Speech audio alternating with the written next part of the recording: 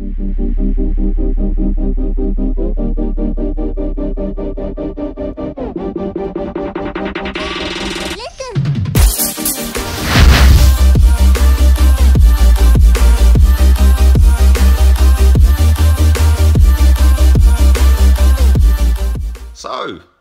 let's talk about Oxlade Chamberlain. 180 grand a week? Really? Do you seriously think you're worth that, mate? I love the Ox. I've said that in previous videos. I rate him highly, but I don't rate him at 180 grand a week. Especially when he's only scored about nine goals for us in the Premier League in six, seven years. Nah, sorry. I don't care whether you've been dropped left, right and centre. I don't care whether you've played 70 different positions for our club you ain't worth 180 grand a week. And I know the, the market's inflated. I know that the prices are going through the roof. I know wages are going ridiculous. And I know that the agent fees involved are ridiculous. But at the same time, he is not a 180 grand a week footballer. I don't even care. Even in this market, he's not worth 180 grand a week. Um, I think that this all this all points back to the fact that Arsene Wenger has misused him over the last six years. Um, he's at an age now where he wants to be playing every single week. He's mid 20s nearly, um, 24 I think he is. Um, so, you know, at the end of the day, he, he's got his own career to think about. He's got his own achievements and goals that he wants. So I don't I don't hate the guy for wanting out because I can I can totally get it. I totally see why he wants to leave.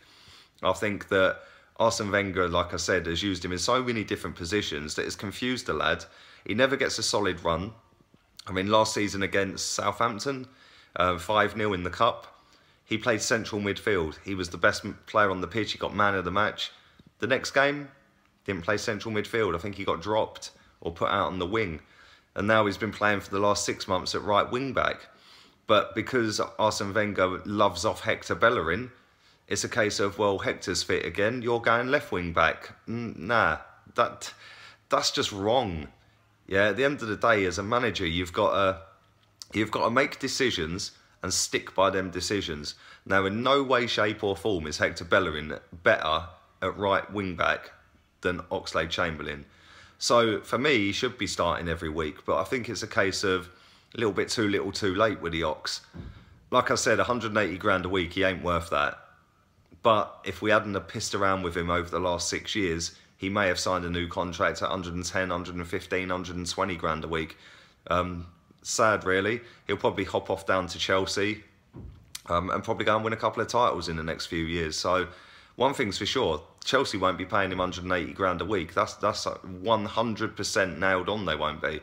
Um, like I said, he's worth about 120 in today's market. Anyway, let me know what you guys think.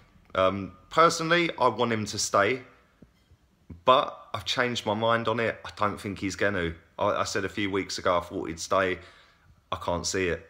I really can't. Um, I think Wenger's trying to play him, trying to get him on side, um, keeping him in the team. But like I said, he's been playing him left wing back. And, you know, if, if somebody's got their heart set on a move, just sell him. What is the point in keeping him? If you don't want to be here, sell him.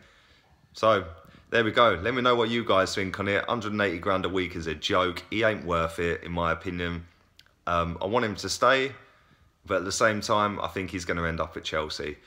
Anyway, have a nice weekend. I'll be back for my preview, sorry, review. Blimey, I'm getting, getting ahead of myself. Um, I'll be back for my review of the Liverpool game. Um, that'll be tomorrow. And it'll be straight after the game. So, yeah. Up the Arsenal. I'm shitting myself for that one, but you never know. They may just pull out a result. Anyway, laters peeps.